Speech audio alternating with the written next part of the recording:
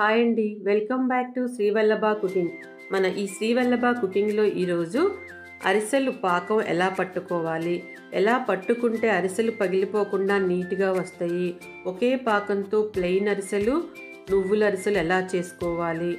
అరిసె ఎక్కువ రోజులు నిలువున్నా కూడాను మొదటి రోజు వండేటప్పుడు వేడివేడిగా తింటే ఎంత క్రిస్పీగా ఉంటాయో అరిసెలు అయిపోయేటప్పుడు చివరి రోజు కూడా అంతే క్రిస్పీగా ఉంటాయి. ఈ విధంగా వండుకుంటే ఈ వీడియో ఎక్కడ స్కిప్ చేయకుండా చూడండి. ఈ అరిసెల కోసం ఇక్కడ నేను రెండు కిలోల రేషన్ బియ్యం తీసుకున్నాను. రేషన్ బియ్యం అయితే అరిసెలు చాలా బాగా వస్తాయి అన్నమాట. మనం అరిసెలకి బియ్యాన్ని ఇరవై నాలుగు గంటలు నానబెట్టుకోవాలి. ఫస్ట్ వీటిని శుభ్రంగా కడిగి నీళ్ళు పంపేసి నీళ్ళు పోసి నానబెట్టుకొని నేను ఇక్కడ అరిసెలకి బియ్యాన్ని మార్నింగ్ పూట నానబెట్టానండి. అంటే సాయంత్రం పూట కూడా మళ్ళీ శుభ్రంగా కడిగి నీళ్ళు పంపేసి మళ్ళీ నీళ్ళు పోసి నానబెట్టాలి. తెల్లారి ఇరవై నాలుగు గంటలు అయిన తర్వాత మళ్ళీ ఇంకొకసారి శుభ్రంగా కడిగి నీళ్ళన్నీ వంపేసుకొని ఒక కాటన్ క్లాత్ వేసి దాని మీద బియ్యాన్ని పోసేస్తే అడుగుని కొంచెం ఏమైనా వాటర్ ఉన్నా కూడా ఆ క్లాత్ పీల్చేసుకుంటుంది బియ్యం కంప్లీట్గా డ్రై అవ్వకుండా చూసుకోండి తడిగా ఉండాలి బియ్యము. ఇలా ఉన్నప్పుడు మిక్సీ వేసేసుకోవాలి. మీకు మిక్సీ వేయటము కొంచెం జల్లెడ పట్టడం ఇదంతా పని అనుకుంటే కనుక దగ్గరలో మీకు తడిపిండి వేసే కనుక పిండి గిన్నె ఉంటే అక్కడ వేయించేసుకోండి. అది ఈజీ అనమాట ఇంక జల్లెడ పట్టకుండా. ఇక్కడ నేను టూ కేజీస్ బియ్యమే కదా అని చెప్పేసి నేను మిక్సీ వేసేసుకున్నాను. ఇక్కడ నేను టూ కేజీస్ బియ్యంకి కేజీన్నర బెల్లం తీసుకున్నాను అరిసెలకి. రెండు కిలోల బియ్యంకి కేజీన్నర బెల్లం అనేది కరెక్ట్ కొలత అనమాట ఒక వెడల్పాటి గిన్నెలో కేజీన్నర బెల్లం బాగా దంచి దాంట్లో వేసేసి పావు లీటర్ నీళ్ళు పోసేసి స్టవ్ మీద పెట్టి సిమ్లో పెట్టేసేయండి. బెల్లం కరిగేలోపు మనము మిక్సీ వేసేసుకోవచ్చు అనమాట బియ్యాన్ని. బియ్యం మిక్సీ వేసుకున్న తర్వాత జల్లెడ పట్టండి. పిండి మెత్తగా అంటే ఎంత మెత్తగా అంటే స్మూత్గా రావాలన్నమాట. పిండిలో ఏ మాత్రం బరకున్నా కూడా అరిసె పగిలిపోతుంది. అందుకని మీకు ఏమన్నా డౌట్ ఉంటే కనుక ఒకసారి జల్లెడ పట్టాక చూసుకొని కొంచెం బరక అనిపిస్తే మళ్ళీ ఇంకొకసారి జల్లెడ పట్టుకోండి. అప్పుడు బాగా ఇంకా స్మూత్గా వస్తుంది. ఇలా జల్లెడ పట్టాక అడుగున కొంచెం నూక మిగులుతుంది కదా జల్లెడలో ఆ నూక వేసి మళ్ళీ బియ్యం వేసుకుంటే కనుక తొందరగా మిక్సీ అవుతుంది.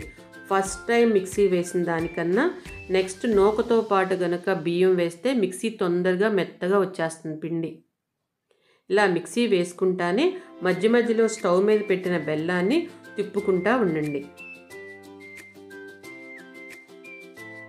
ఈ రెండు కిలోల బియ్యం నేను మిక్సీ వేసేలోపు చక్కగా బెల్లం కరిగిపోయిందనమాట చూసారా? చక్కగా జల్లెడ పట్టడం అయిపోయింది. టూ కేజీస్ పిండి ఎంత బాగా వచ్చిందో స్మూత్గా. ఇప్పుడు మనం పాకం పట్టుకుందాము. ఫస్ట్ బెల్లం బాగా కరిగిన తర్వాత వడపోసుకోండి బెల్లాన్ని పాకం రాకముందు. ఎందుకంటే బెల్లంలో తుక్కు నలకలు ఏమైనా ఉన్నా కూడాను ఇలా వచ్చేస్తాయి బయటికి. అందుకని వడపోసుకున్న తర్వాత మళ్ళీ అదే గిన్నెని కొంచెం శుభ్రంగా కడిగి దాంట్లో మళ్ళీ పోసి పాకం పట్టండి. ఇక్కడ నేను బెల్లం పాకాన్ని కర్రతో తిప్పుతున్నాను. ఇదైతే పిండి కలపడం చాలా ఈజీ అనమాట ఒక ప్లేట్లో తెల్ల ప్లేట్ అయినా స్టీల్ ప్లేట్ అయినా సరే ఒక ప్లేట్లో కొంచెం నీళ్ళు పోసి కొంచెం బెల్లం పాకాన్ని వేస్తే కనుక ఆ పాకము చేతికి కానీ ప్లేట్కి కానీ అంటుకోకుండా ఇలా గట్టిగా ఉండగడితే ఇంకా పాకం వచ్చేసిందని అర్థం అనమాట ఇలా పాకం రాగానే స్టవ్ ఆపేసి పావు కేజీ నెయ్యి వేసుకొని కలుపుకోవాలి బెల్లం పాకంలో. ఇలా పావు కేజీ నెయ్యి వేసుకొని కలుపుకుంటే కనుక మనం ఇక్కడ నేతి అరిసెలు చేస్తున్నాము. అందుకని నెయ్యి ఎక్కువ పీల్చకుండా ఉంటుంది.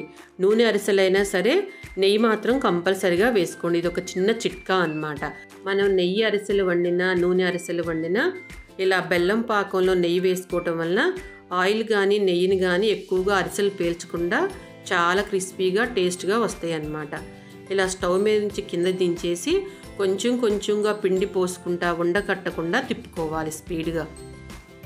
పిండి అంతా ఒకేసారి పోయకూడదు ఉండకట్టేస్తుంది కొంచెం కొంచెం పిండి పోసుకుంటా తిప్పుకుంటే చక్కగా వచ్చిందనమాట చలివిడి.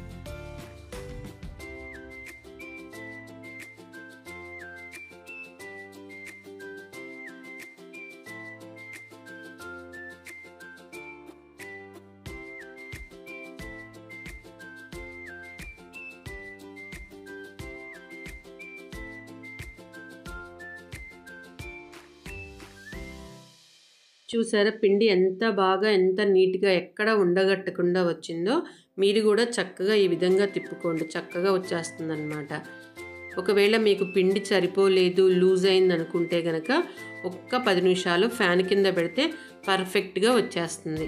అది కూడా చిన్న చిట్కా లాంటిది చెప్తున్నాను మీకు.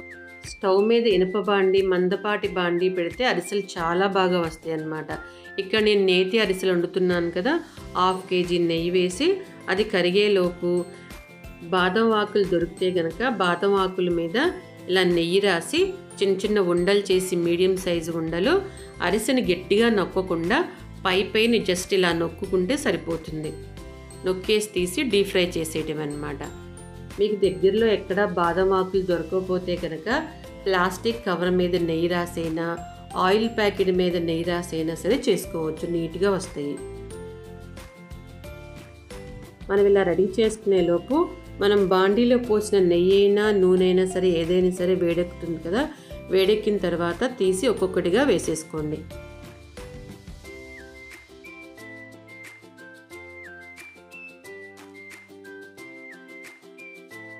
ఇవి డీప్ ఫ్రై అయిన తర్వాత చిల్లులు గిరట అడుగున ప్లెయిన్ గిరట పైన పెట్టి నొక్కోవాలన్నమాట గట్టిగా.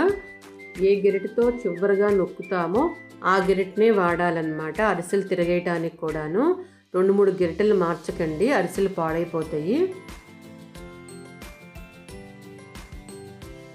ఇలా జాగ్రత్తగా తిప్పుకున్న తర్వాత నేతి అరిసెలు అయితే మాత్రము సెవెంటీ ఫైవ్ పర్సెంట్ మాత్రమే నొక్కి ట్వంటీ ఫైవ్ పర్సెంట్ నెయ్యి ఉండనివ్వండి. అప్పుడు టేస్ట్గా చాలా బాగుంటుంది. ఇలా మనం కొంచెం కష్టపడి ఇంట్లో గనక చేసుకుంటే గనక రెండు కిలోల బియ్యంకి ఎనభై అరిసెలు అవుతాయండి. చాలా బాగుంటాయి ఈ అరిసెలు క్రిస్పీగా. పిల్లలు ఎంతో ఇష్టంగా తింటారు. ఇదే పిండితో నువ్వులతో అరిసెలు ఎలా చేయాలో కూడా ఇప్పుడు నేను చూపిస్తాను. ఈ వీడియో స్కిప్ చేయకుండా కంటిన్యూగా ఎండింగ్ వరకు చూడండి.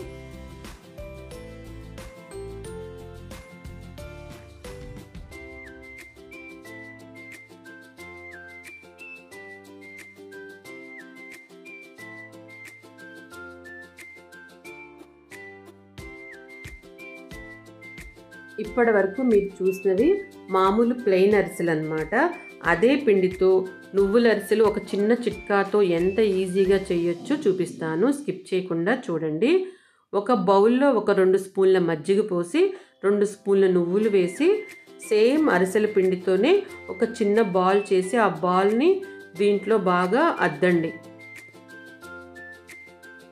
ఇలా మొత్తం అద్దిన తర్వాత బాదం వాకు మీద కొంచెం నెయ్యి రాసి ఇట్లా మెల్లగా మరీ గట్టిగా ప్రెషర్గా నొక్కకుండా మెల్లగా అద్దుకొని తీసేసి డీప్ ఫ్రై చేసేసుకోవటమే. ఇలా చేయటం వల్ల నువ్వులు విడిపోకుండా ఉంటాయి అన్నమాట నెయ్యిలో. అదే మీరు డ్రై నువ్వుల్లో కనుక ఆ ఉండని అద్ది తీసి ఒట్టి ఆయిల్లో వేస్తే కనుక ఆ నువ్వులన్నీ విడిపోతాయి అన్నమాట నువ్వులు విడిపోకుండా ఉండడం కోసం ఇలా మజ్జిగలో నువ్వులేసి ఉండని దాంట్లో అద్ది చేసుకుంటే నువ్వులు నీట్గా ఆయిల్ పాడైపోకుండా ఉంటుందన్నమాట. ఈ అరిసెలు కూడా డీప్ ఫ్రై అయిన తర్వాత తీసి ఇలాగే ఒత్తేసి ఆయిల్ని కానీ నెయ్యిని కానీ పక్కన పెట్టేసుకోండి. అంతే. ఎంతో ఈజీగా ప్లెయిన్ అరిసెలు నువ్వుల అరిసెలు ఎంతో క్రిస్పీగా టేస్టీగా నేతి అరిసెలు చేసేసుకోవచ్చు. ఒక్కసారి మీరు కూడా ట్రై చేసి ఎలా వచ్చిందో నాకు కింద కామెంట్ బాక్స్లో తెలపండి. ఈ వీడియో మీకు నచ్చినట్లయితే మీ ఫ్రెండ్స్కి రిలేటివ్స్కి అందరికీ షేర్ చేయండి. ఫ్రెండ్స్ అరిసెలు చేసేటప్పుడు చిన్న చిన్న చిట్కాలు చెప్పాను కదా. ఈ చిట్కాలు మీతో పాటు అందరికీ తెలియాలంటే తప్పకుండా ఒక లైక్ కొట్టండి. మీరు లైక్ కొట్టడం వల్ల ఈ వీడియోని చాలామంది చూడగలుగుతారు. Thank you for watching. ఇలాంటి మరిన్ని రెసిపీస్తో మీ ముందుకు వస్తాను.